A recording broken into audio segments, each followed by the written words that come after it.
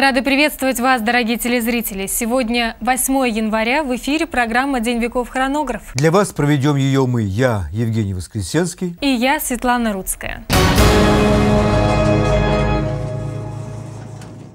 Давным-давно, еще до появления, я знал тебя, любил тебя и ждал.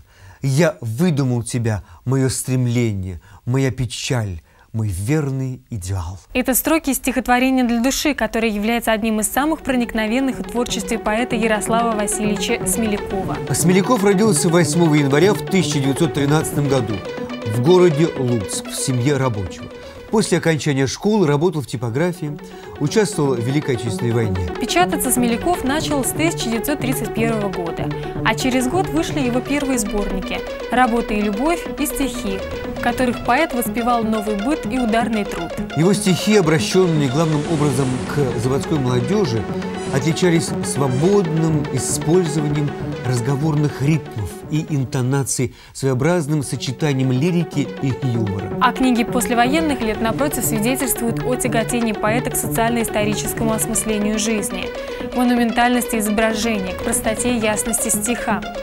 Среди них назовем такие, как «Кремлевские ели», «Избранные стихи» и поэму «Строгая любовь», посвященную молодежи 20-х годов. В произведениях Смелякова более позднего периода эти тенденции получили наиболее полное развитие.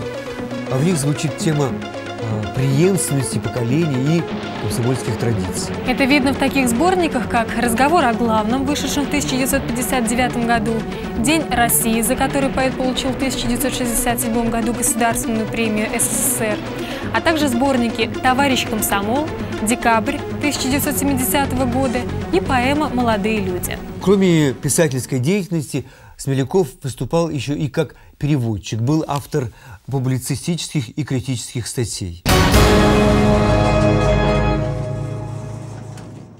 8 января в 1921 году во Франции было объявлено, что рентген можно использовать для проверки подлинности картин. Сначала полотно оценивалось по фотографии, затем непосредственно, что называется, на ощупь, после чего к делу подключали рентген. Хочу, кстати, заметить, что до настоящего времени для определения, например, происхождения фарфоровых произведений и их подделок приходилось сверлить предмет. И многие музеи и большинство коллекционеров предпочитали отказаться от такой проверки, дабы не повредить вещь. Обычный рентген, используемый для живописи, определял материалы внутри объекта, но не давал информации об изделиях из однородной субстанции. В то время как сейчас создано устройство с усиленными рентгеновскими лучами, которые способны не только помочь определить подделку, но и выявить, как создавались металлические или керамические изделия, не повреждая их. Сегодня 8 января, вы смотрите программу «День веков хронограф». Сейчас об одном интересном спортивном событии этого дня. 8 января в 1958 году в возрасте 15 лет Роберт Фишер стал чемпионом США по шахматам. В 1943 году, в разгар Второй мировой войны, в Чикаго в семье Фишеров родился сын, которого назвали Бобби. Когда мальчику было 6 лет, сестра научила его играть в шахматы. А через 29 лет, в 1972 году, Роберт Джеймс Фишер выиграл матч на первенство мира у Бориса Спасского и стал 11-м чемпионом мира. Но вернемся немного назад. А в 1957 году, в возрасте 14 лет, Фишер завоевал титул чемпиона США среди юниоров, а в 15 годам он стал самым молодым чемпионом США. Именно в 1958 году, когда Фишеру исполнилось 15, он стал самым молодым в истории шахмат гроссмейстером.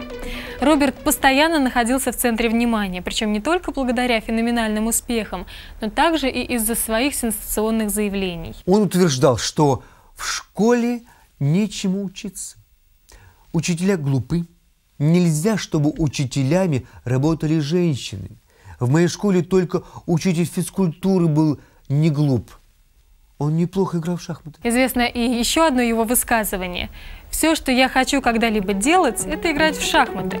Кроме того, Фишер обещал в максимально короткие сроки побить советских шахматистов и стать чемпионом мира. Однако пройти сквозь строй советских гроссмейстером оказалось не так-то просто. 15 лет Фишер шел к цели.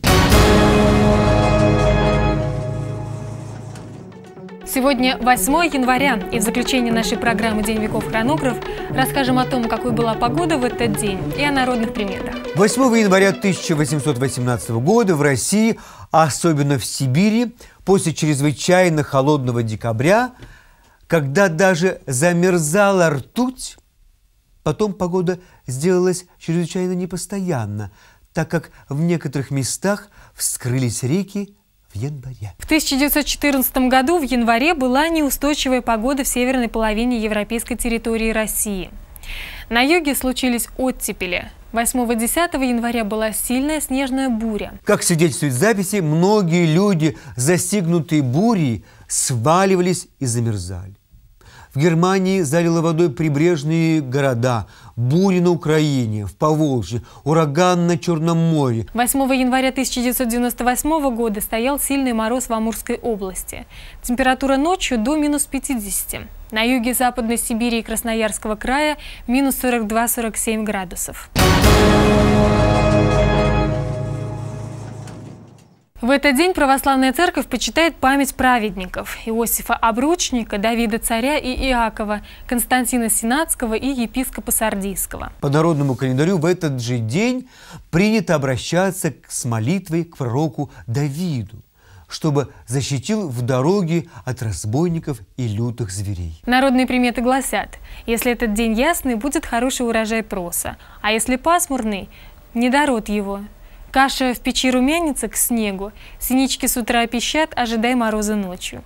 Галки и вороны кричат беспрерывно к снегопаду или метели. Не в столь далекие времена матушка собирала вечером своих детей и учила их славить Рождество, обсыпать зерном на долгий век, на счастье, на благополучие. Проще простого было в праздничный час выдать э, поломтью пирога, побаловать детей клюквой на меду. Но матушка знала, не во всяком дому каравай выпечен, да еще чтобы всему семейству вдосталь. И вот ребятишки должны были заслужить угощение, всем миром ребячим отведать поровну и сыти, и сладостей. При этом смотрели, кто из детей какой кусок отломит.